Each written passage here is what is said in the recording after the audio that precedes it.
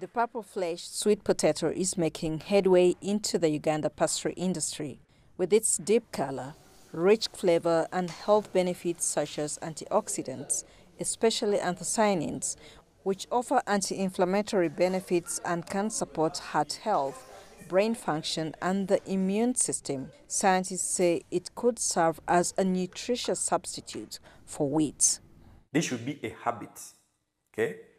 Consume nutritious foods, but then also to adopt these technologies as a way of uh, earning more from crop produce, as a way of creating jobs for the youth, but also as a way of really creating uh, sustainable production systems. The value chain is very sustainable if we go into value addition. Work on the new varieties started eight years ago after seeds from the North Carolina State University were cross-pollinated with indigenous varieties from Uganda. In this room, thousands of varieties have been carefully screened and tested for years, leading to the development of a superior purple flesh sweet potato. The high-yielding varieties stand out for its resilience to extreme weather, and scientists say it could play a key role in strengthening food security. The varieties have also been tested across the country with farmers and proven to cope well with the climate here. One of them, this one, the P36, has 19 tons per hectare. And then these other two actually all yield above 20 tons per hectare, meaning they're actually high yielding varieties that farmers can produce. Secondly, they have high dry matter content.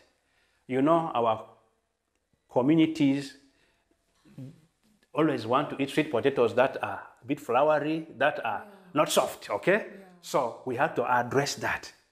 Scientists say the traditional varieties only yield 4 tons per hectare, which is about five times less than the new variety, an increase that will help boost farmers' income. As climate change intensifies, so too does the challenge to produce enough food domestically.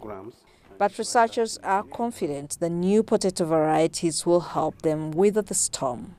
Most of the farmers, when they leave uh, their crop in the field, and when there are high um, temperatures, this pest is very rampant in the fields. So we have to breed for resistant varieties to this.